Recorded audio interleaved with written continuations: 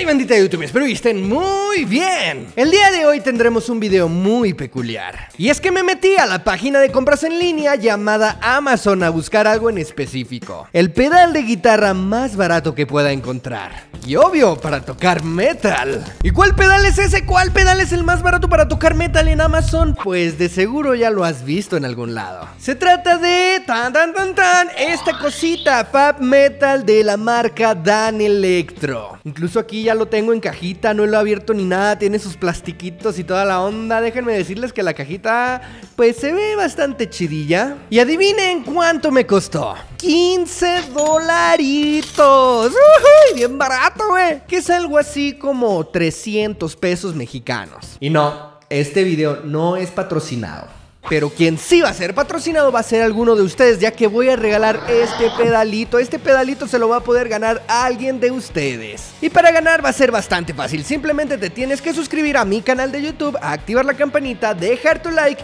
y un comentario. Haciendo eso ya estarás participando y el ganador lo voy a revelar en dos semanas y lo voy a poner como comentario fijado en este video. Así que mucha suerte a todos, deseo regalarle a alguno de ustedes este pedalito, que ahorita veremos qué tal está. Volviendo al tema del video, ¿valdrá la pena el sonido que vamos a poder sacar de este pedalito? ¿O de plano será una caca? Pues para eso le vamos a hacer unas pequeñas pruebas en este video. Vamos a analizar sus materiales para ver si está bien fabricado, vamos a analizar qué hace cada una de sus perillas y por supuesto el sonido en unos test de audio que les tengo preparados. Y no sé ustedes, pero yo tengo una historia bastante curiosa con este pedal en particular. Resulta que cuando tenía como 13 o 14 años que apenas estaba metiéndome en este mundo de la música, resulta que ya conocía este pedal. Y siempre lo había querido, pero nunca tuve el dinero o la oportunidad de encontrarlo para poder tenerlo. Y pues saben que no sé por qué lo quería tanto, si la verdad nunca lo había escuchado, nunca se lo había visto a nadie, pero lo veía ahí de repente y como que me llamaba la atención la figurita así chiquita y todo eso.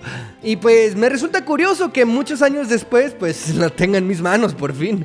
Pero ya basta de historia y vamos a lo que nos interesa, si rifa este pedalito o el pastel. Primero que nada, cuando lo compramos, ¿qué viene con él? Vamos a hacer un pequeño unboxing y vamos a revisar qué viene en el paquete. Muy bien, pues aquí ya tengo el pedalito, vamos a ver qué hay dentro. Aquí como pueden ver está totalmente nuevo, el que ustedes van a recibir también va a ser totalmente nuevo. Lo sacamos y averiguamos que tiene una fundita muy suavecita como de tela. Buen detalle de parte de Dan Electro Fab Metal. Y aquí está. Aquí está el... Oh, miren, también tiene un manual de instrucciones y toda la onda. Y aquí está el pedalito.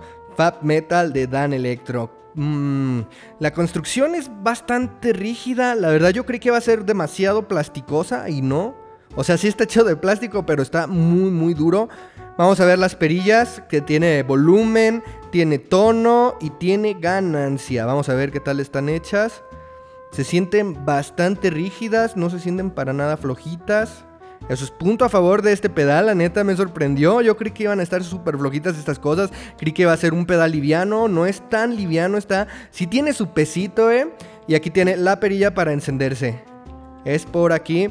Por la parte de atrás que tenemos 9 voltios, aquí ponemos el eliminador, ponemos la entrada de nuestra guitarra y esta es la salida. Este pedal se puede alimentar también por batería de 9 volts, eso está bastante cool.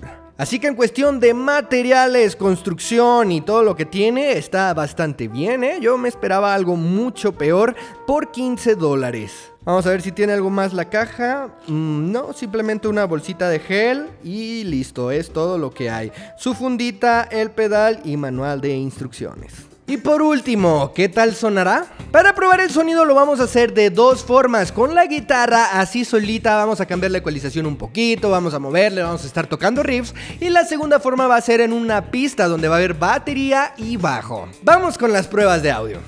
A ver, primera escuchada, ya tengo el pedal listo ahí conectado en la computadora con el simulador de gabinete y toda la onda. A ver qué tal suena.